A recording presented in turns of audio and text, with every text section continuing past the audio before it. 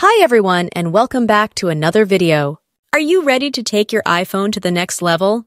iOS 18 is now available to the public, so just follow my steps in order to learn how to get and install the new software update for your iPhone. iOS 18 offers a bunch of new features for your device, and it's one of the bigger updates in the last couple of years. You can now customize your home screen by changing the app icon color and tint. You have the new dark mode for your app icons, which will look really cool, especially at night. We also have eye tracking in this new update, which will allow us to control the phone with our eyes. You can customize your control center by adding a bunch more controls, as well as adding pages to your control center, and many, many more things. I have a bunch of iOS 18 tutorials, and I will leave the video links in the pinned comments down below.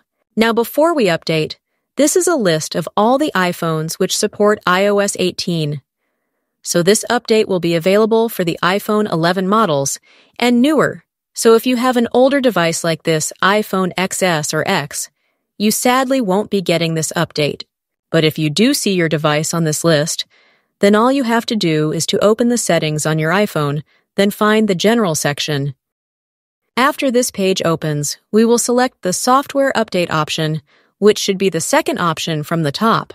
Before updating, make sure that you have more than 50% battery left on your device, or connect your iPhone to a charger. One more thing that we have to do is to make sure that we are connected to Wi-Fi. The new update has a couple of gigabytes in size, so I don't recommend to do this over your mobile data. Connect to Wi-Fi, connect to a charger, and then tap on this Update Now. The next thing that you want to do is to enter your phone passcode in order for them to confirm that it's us agree to the terms and conditions, and then wait until iOS 18 downloads onto your device. After it downloads, you will have the option to install it.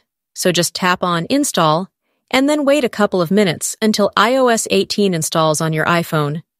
You can then start using all of the features which iOS 18 offers, and you have my video tutorials down below.